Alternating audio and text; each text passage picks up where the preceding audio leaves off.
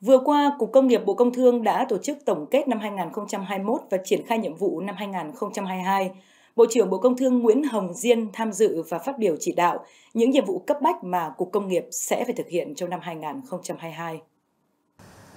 Năm 2021, Cục Công nghiệp đã tích cực và chủ động tiến hành có hiệu quả các nhiệm vụ quản lý nhà nước trong các ngành công nghiệp, đặc biệt là trong việc tham mưu cho lãnh đạo Bộ xây dựng hoàn thiện các chính sách lớn phát triển công nghiệp quốc gia đối với các nhóm ngành khoáng sản, luyện kim, công nghiệp hỗ trợ, chế biến chế tạo, công nghiệp thực phẩm, tiếp tục triển khai hiệu quả chương trình phát triển công nghiệp hỗ trợ giai đoạn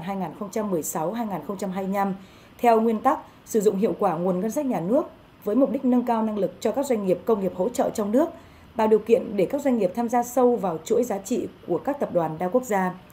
Tại hội nghị, Bộ trưởng Nguyễn Hồng Diên đánh giá, trong năm 2021, Cục Công nghiệp đã có đóng góp quan trọng nhằm đảm bảo hàng hóa trong đại dịch không đứt gãy nguồn cung, đóng góp tăng trưởng GDP 2,58%, cho kim ngạch xuất khẩu 337 tỷ đô la Mỹ, tăng 19%, xuất nhập khẩu khoảng 670 tỷ đô la Mỹ, tăng 23%. Bên cạnh đó, Bộ trưởng cũng yêu cầu Cục Công nghiệp cần tập trung vào những tồn tại, hạn chế cần khắc phục trong thời gian tới, nhất là trong việc tham mưu chính sách và thực thi chính sách.